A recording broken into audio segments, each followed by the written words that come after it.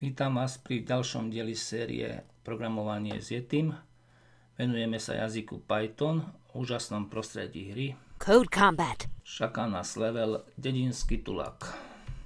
Hliadkovanie je pakujúca sa činnosť, ktorá sa hodí na využitie funkcií. Takže začíname s funkciami. Ciele zastav všetkých ogrov, zachráň všetkých vidiečanov. Úloha je známa, ale to, ako ju vyriešime, je nové. Použijeme funkciu a funkcia nám uľahčuje opakovanie tej istej úlohy. Viacej riadkov kódu sa potom pri volaní funkcie zmení vlastne len na jeden. A funkciu definujeme v Pythone pomocou toho kľúčového slova def. def a nasleduje názov funkcie a pretože aj metódy sú funkcie, tak už viete, že na konci sú zátvorky, ktorých môže, ale nemusí byť argument alebo viacej argumentov.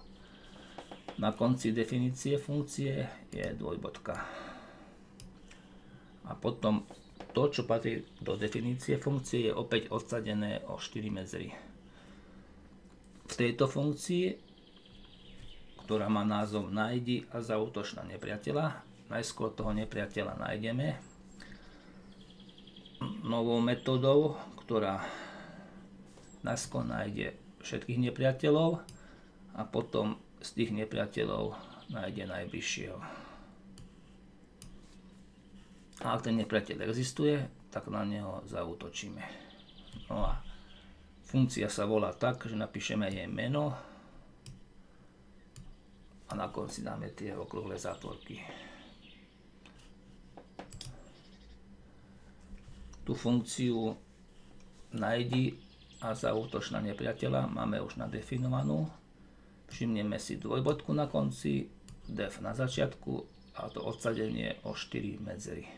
Takže definícia funkcie končí na riadku 5. Na riadku 3 si pomocou metódy nájdi najbližšieho nepriateľa, toho nepriateľa nájdeme, uložíme ho do premennej enemy. Ak nepriateľ existuje, tak na neho zautočíme tá podmienka if tiež končí dvojbodkou a blok kódu, ktorý sa má vykonať, musí byť tiež odsadený o 4 medzery. Na riadku 8 začína cyklus while true. Najskôr sa presunieme na stranice 35-34. To je ľavý okraj dediny. Presunieme sa tam a zavoláme funkciu hľadaj a nájdi nepriateľa tá funkcia zistí, či je tu nepriateľ, ak tam je, tak na neho zautočíme. Teraz sa máme presunúť ku pravému vchodu. 60, 31.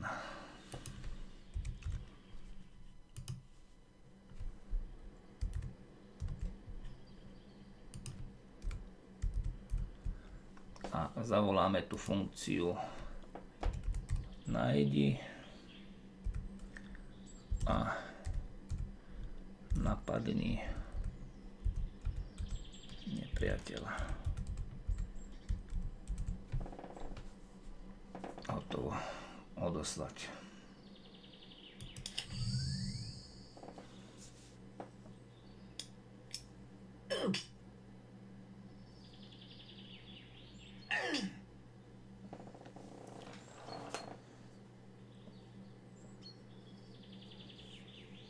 Oops.